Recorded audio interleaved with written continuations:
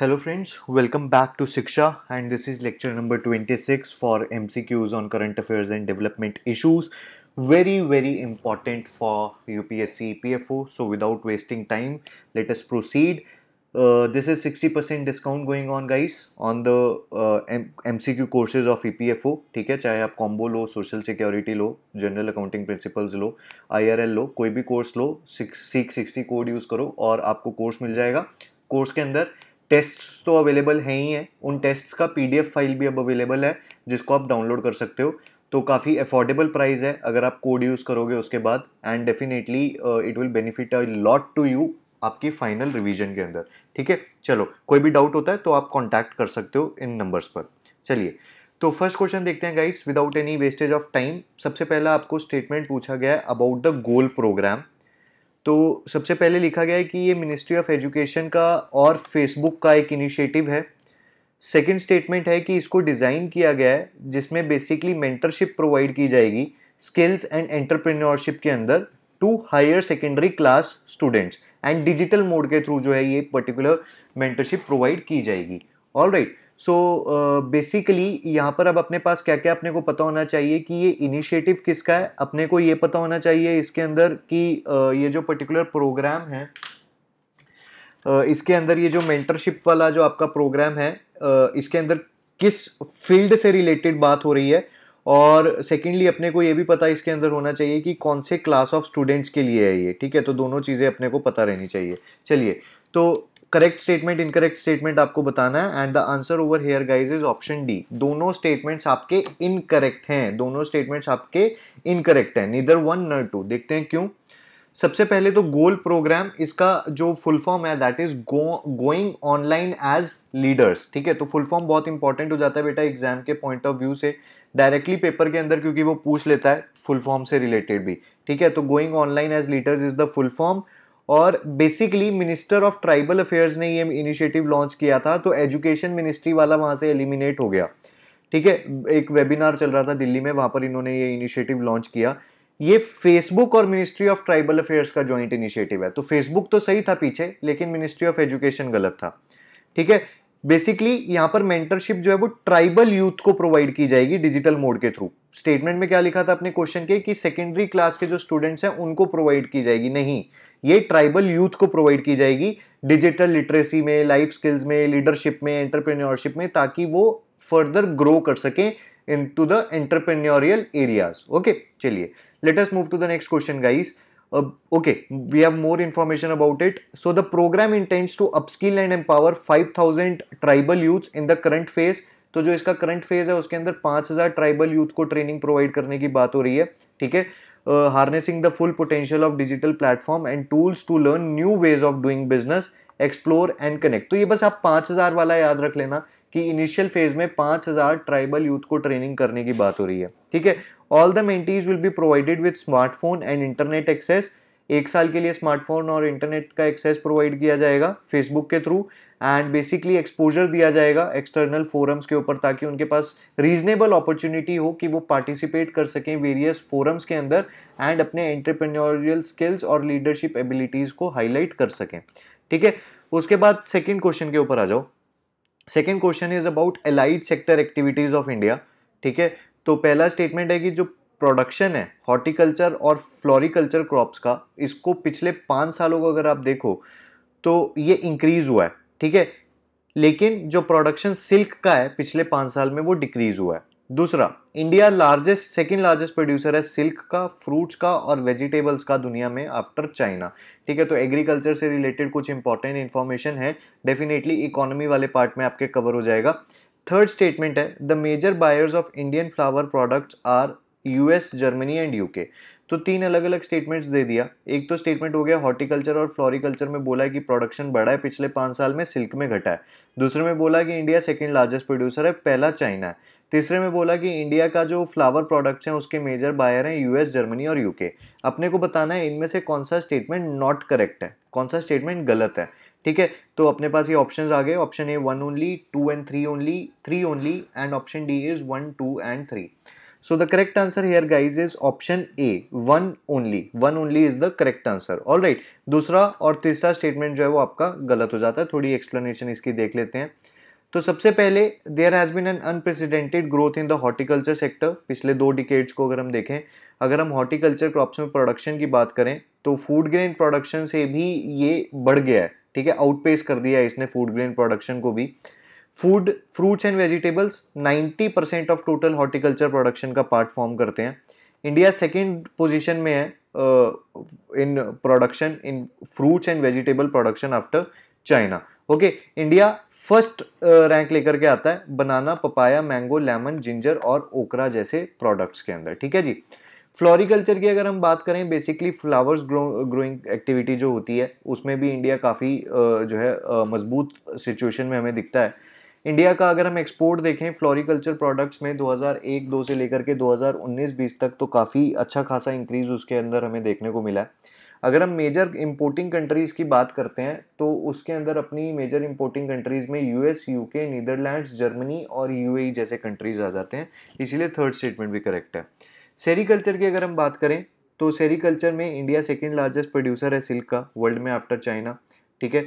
और इंडिया के अंदर हम चार कॉमर्शियल वेराइटीज सिल्क की ग्रो कर सकते हैं, जो काफ़ी इंपॉर्टेंट वेराइटीज़ हैं मलबरी एरी तसर और मुगा ठीक है? टोटल सिल्क प्रोडक्शन की अगर हम बात करें तो अगर आप देखोगे 2019-20 में 2014-15 के मुकाबले ज़्यादा है। इसी वजह से स्टेटमेंट वन इनकरेक्ट हो जाता है, क्योंकि स्टेटमेंट वन में क्या लिखा था देखो, अब अपने आंसर के ऊपर दोबारा चलो स्टेटमेंट वन इसीलिए इनकरेक्ट हो जाता है, क्योंकि वहाँ पर आपका लिखा था कि सिल्क का प्रोडक्शन डिक्रीज हुआ है, पर सिल्क का प्रोडक्शन तो इंक्रीज हुआ है, बाकी दोनों स्टेटमेंट्स सही हैं, लेकिन अपने से इनकरेक्ट स्टेटमेंट पूछा था, इसीलिए हमने यहाँ पर आंसर ए वन ओनली दिया था, ठीक है? Let us move to the next question now here is the third question consider the following statements सबसे पहला स्टेटमेंट कहता है कि भारत पर्व जो है ये एनुअल इवेंट है मिनिस्ट्री ऑफ़ कल्चर का। बेसिकली जिसके अंदर कल्चरल डाइवर्सिटी जो कंट्री की है उसको शो uh, किया जाता है। तो सबसे पहले तो आपको पता होना चाहिए कि क्या एनुअल इवेंट है या मिनिस्ट्री ऑफ़ कल्चर का है या किसी और मिनिस्ट्री का है।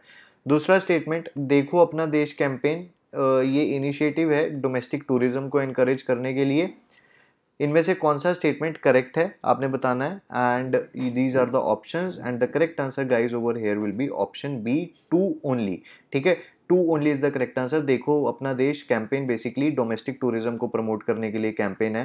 पहला स्टेटमेंट गलत क्यों है? क्योंकि आपका मिनिस्ट्री ऑफ़ कल्चर गिवन था भारत पर्व के लिए, लेकिन ये आपका मिनिस्ट्री ऑफ़ टूरिज़्म ही ऑर्गेनाइज करता है भारत पर्व को भी हर साल। 2016 में इसको स्टार्ट किया गया था, ठीक है जी? और basically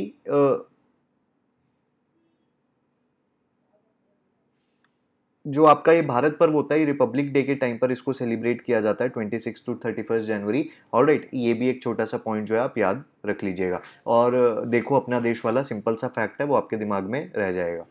Fourth question Hunar Haat social security वाला पॉइंट ऑफ़ व्यू आ जाएगा बेटा। करेक्ट स्टेटमेंट पूछा है हुनर हट से रिलेटेड तो पहला स्टेटमेंट कहता है कि नई मंजिल स्कीम के अंडर इसको ऑर्गेनाइज किया जाता है। दूसरा स्टेटमेंट कहता है कि इसके अंदर हैंडीक्राफ्ट और traditional products which are made by artisans from the minority community उसको एग्जिबिट किया जाता है, उसका एग्जीबिशन लगाया जाता है। थर्ड स्टेटमेंट कहता है कि ministry of skill development and entrepreneurship का इनिशिएटिव है। काफ़ी पुराना स्कीम है, वैसे तो ये तीन चार साल हो गए हैं इस स्कीम को, लेकिन अच्छा स्कीम है अच्छा इंपॉर्टेंट एरिया है ये वाला, ठीक है? और इजीली कर सकते हो, ठीक है? तो करेक्ट आंसर पूछा है तो अपना डेफिनेटली आंसर बी हो जाएगा। देखो, अगर किसी को थोड़ा सा भी आइडिया है तो थर्ड स्टेटमेंट को तो सबसे पहले आप एलिमिनेट कर सकते हो, ठीक है? थर्ड स्टेटमेंट को सबसे पहले कैसे एलिमिनेट कर दोगे? कि भैया मिनिस्ट्री ऑफ़ माइनॉरिटी है, ठीक है? पुराना स्कीम है तो इतना आपको पता होगा एग्ज़ाम में, ये हर कोई लेकर के चलता है।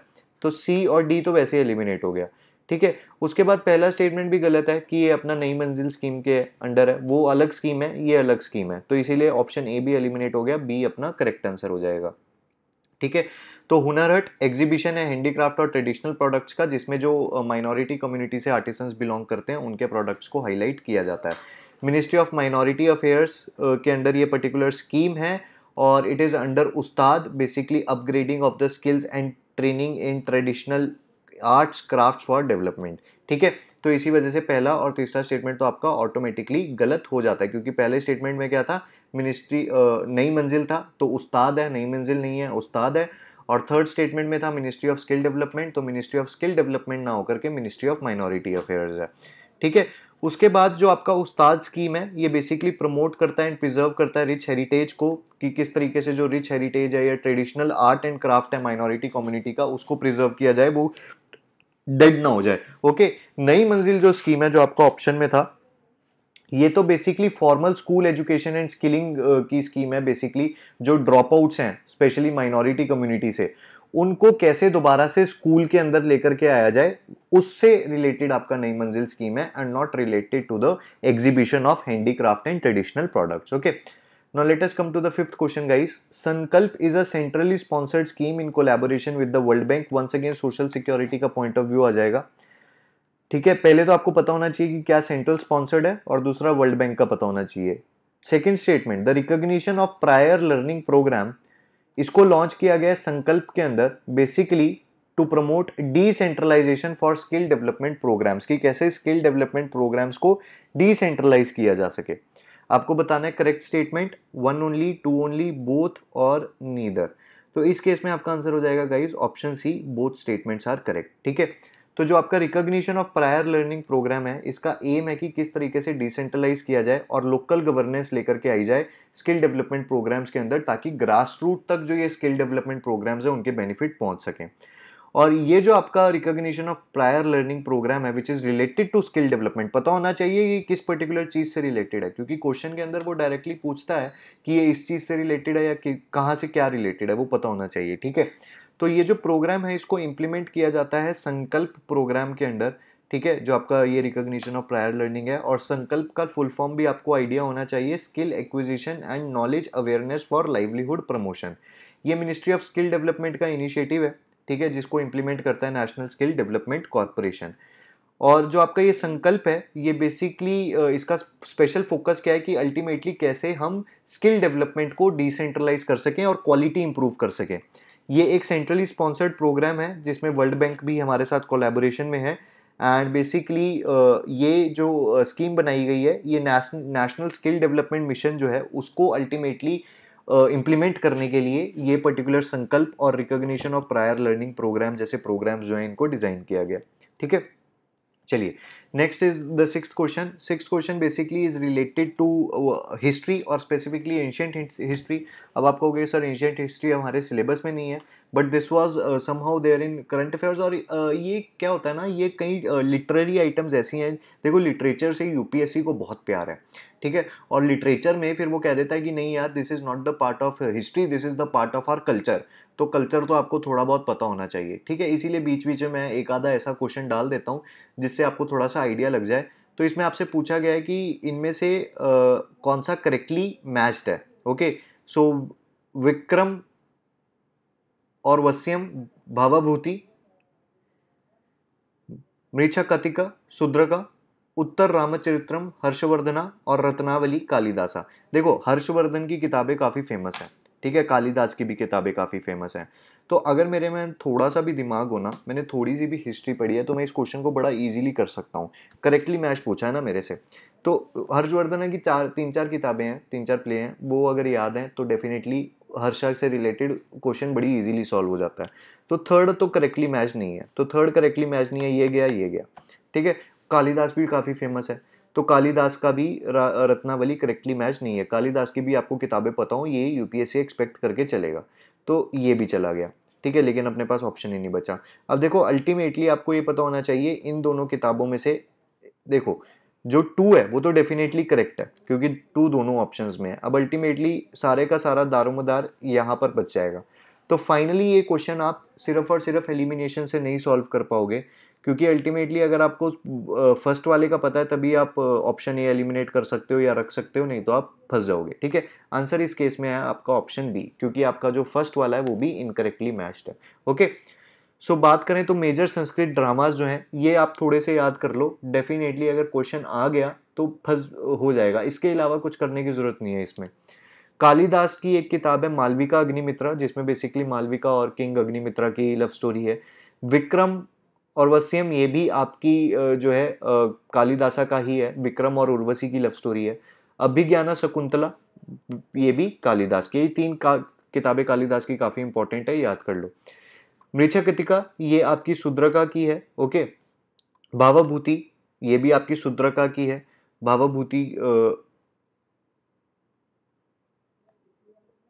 ठीक है ऑल राइट उसके बाद हर्षवर्धना की रत्नावली आ जाएगी, नागनंदा आ जाएगी और प्रियदर्शिका आ जाएगी। ये तीन किताबें हैं बेसिकली और ये अगर हर्षा की याद है तो डेफिनेटली इजीली आंसर आप कर दोगे। चलो सेवन्थ क्वेश्चन पर आ जाओ। Which country recently launched Arktika M or Arktika M satellite to monitor the climate change in Arctic okay Japan, France, India, Russia Arktika M. So factual question है, इधर और नीधर वाला केस बनता है and the answer over here guys will be option D Russia. ठीक है? Eighth question What is the theme of National Science Day that was observed on 28th February? National Science Day is a very important day celebrated on the birth anniversary of C.V. Raman. Okay, so 28th में फरवरी को celebrate किया था और theme क्या था again factual question है इधर या नीदर वाला केस है and the answer is C future of S T I impact on education skills and work okay all right so Raman effect के लिए सी वी रमन को नोबेल प्राइज़ मिला था फिजिक्स में 1930 में। कई बार इस तरह के फैक्ट्स साइंस का पार्ट बना करके वो पूछ लेते हैं। ओके और 2021 के यूनियन बजट में भारत सरकार ने पाँच पचास हज़ार करोड़ देने का फैसला किया है अगले पाँच सालों में for the national research foundation basically research को सपोर्ट करने के लिए। ये भी बड़ा एक इंपॉर्टेंट पॉइंट है कि आपसे वो पूछ सकता है 2021 में कितना बजट क्योंकि इंपॉर्टेंट है ये पॉइंट और पाँच सालों में। स्टेटमेंट बेस में तो डेफिनेटली आ सकता है। चलिए ninth question consider the following initiatives Margdarshan and Margdarshak initiative Uchchatar Avishkar Yojana, Manodarpan initiative सरल इनिशिएटिव इनमें से कौन सा इनिशिएटिव ऐसा है जिसको टेक्निकल एजुकेशन को इम्प्रूव करने के लिए लेकर आया गया है इंडिया के अंदर? ठीक है जी, कौन सा इनिशिएटिव इंडिया में टेक्निकल एजुकेशन के सिनेरियो को इम्प्रूव करने के लिए इंट्रोड्यूस किया गया है? And the correct answer guys in this case will be your option A option A one and two only one and two only will be the correct answer okay चलिए। Let us move to the next question guys अच्छा इसको थोड़ा detail में देखते हैं पहले। तो ministry of human resource development जो आपका मिनिस्ट्री ऑफ़ एजुकेशन है उन्होंने मार्गदर्शन और मार्गदर्शक इनिशिएटिव लॉन्च किया है All India Council for Technical Education का। बेसिकली टेक्निकल एजुकेशन को इम्प्रूव करने के लिए इंडिया में। उच्चतर आविष्कार योजना जो है ये भी एक स्कीम है। बेसिकली uh, किस तरीके से इनोवेशन को प्रमोट किया जा सके जो इंडस्ट्री को हेल्प करे और इंडिया की मैन्युफैक्चरिंग सेक्टर को एक कॉम्पिटिटिव एज प्रोवाइड करे। ठीक है? और ये जो स्कीम है आपकी उच्चतर आविष्कार योजना, इसका मेन फोकस क्या है कि कैसे इंडस्ट्री जो है, जो बड़ी बड़ी इंडस्ट्रीज़ हैं और उन इंडस्ट्रीज़ को अकेडमिक यानी कि कॉलेजेस और हायर लेवल इंस्टीट्यूशंस के साथ कोलैबोरेट कराया जा सके जिससे इंडस्ट्री के अंदर स्टूडेंट्स जा करके रिसर्च कर सकें पार्टिसिपेट कर सकें और इंडस्ट्रीज़ को क्या फ़ायदा होगा? जब ये स्टूडेंट्स तैयार हो जाएँगे जॉब के लिए, तब इंडस्ट्री को सेट माइंड्स और ट्रेंड माइंड्स मिलेंगे फॉर वर्किंग एंड इनोवेशन उसके बाद Manodarpan initiative basically it is to provide psycho social support to students family members and teachers क्योंकि देखो स्कूल्स बंद हैं कॉलेजेस बंद हैं कोविड के करके तो मेंटल हेल्थ और वेलबींग के ऊपर काफ़ी नेगेटिव इम्पैक्ट है। तो मनोदर्पण इनिशिएटिव इसीलिए यहाँ पर लेकर के आया गया है, जिससे आपका कोविड नाइन्टीन में बेसिकली मेंटल हेल्थ को स्टूडेंट्स की प्रमोट किया जा सके। ठीक है? इसीलिए हमने यहाँ पर दो, जो अपना ऑप्शन ए रखा था ना, ठीक है, मनोदर्पण हमने इसीलिए काट दिया था और सरल इनिशिएटिव को भी काट दिया था। तो अभी सरल को भी देखते हैं क्या है। ओके, सरल आपका state rooftop solar attractiveness index है। First of the kind index है बेसिकली ये। इसमें क्या होता है कि स्टेट के मेजर्स को देखा जाता है व्यू लिया जाता है स्टडी किया जाता है कि स्टेट कितना मेजर ले रही है अपनी तरफ़ से, कितना एक्शन लेने की कोशिश कर रही है to promote rooftop solar deployment in the country ठीक है? तो ये दोनों आपके टेक्निकल एजुकेशन से रिलेटेड इसीलिए नहीं है okay now let us move to the last question of the video guys a technical recession is when a country faces a continuous decline for four consecutive quarters in the GDP ये वाला जो question है, ये काफ़ी ज़्यादा news में रहा है पिछले जब से कोविड चल रहा है, ठीक है? और इकोनॉमी के लिए काफ़ी इंपॉर्टेंट क्वेश्चन बन करके आता है, काफ़ी इंपॉर्टेंट कंसेप्ट बन के आता है। डेफिनेटली आप इसको एक्सपेक्ट करके चलना कि आपसे पेपर में पूछा जाएगा। सो टेक्निकली सेशन जब कंट्री कंटिन्यूस डिक्लाइन फेस करता है, चार कंजिक्यूटिव क्वार्टर्स के लिए जीडीपी में, उसके बाद the growth rate in terms of G V A in is G D P minus net product taxes तो ग्रोथ रेट अगर आपको जीवीए में कैलकुलेट करना है तो उसमें आप जी डी पी लेते हो पहले और उसमें से नेट प्रोडक्ट टैक्सेस को सब्ट्रैक्ट कर देते हो। ठीक है? Now which of the statement given above is are correct one only two only both or neither तो यहाँ पर आंसर क्या हो जाएगा अपना? यहाँ पर आंसर हो जाएगा ऑप्शन बी टू ओनली पहला स्टेटमेंट गलत है और दूसरा स्टेटमेंट जो है वो आपका सही है। तो आंसर देख लेते हैं एक बार। तो इंडियन इकोनॉमी रिसेंटली अभी अगर हम देखें पिछले क्वार्टर के अंदर टेक्निकल रिसेशन से बाहर निकल के आई, क्योंकि इसकी ग्रोथ जो थी वो ज़ीरो पॉइंट फोर परसेंट से हमें देखने को मिली, ठीक है? ट्वेंटी ट्वेंटी वन के इस क्वार्टर के अंदर। All right so technical recession basically कब आता है? जब कंटिन्यूस डिक्लाइन हो जीडीपी के अंदर दो कॉन्जिकेटिव क्वार्टर्स के अंदर। पीछे चार लिखा था, इसीलिए हमारा वो स्टेटमेंट इनकरेक्ट हो गया था। अब अगर हम बात करते हैं growth rate in terms of GVA की तो उसमें हम जीडीपी में से माइनस करते हैं नेट प्रोडक्ट टैक्सेस को। एंड बेसिकली ये जो आपका जीवीए है, ये रिफ्लेक्ट करता है कि सप्लाई के अंदर कितना ग्रोथ हुआ है, ठीक है?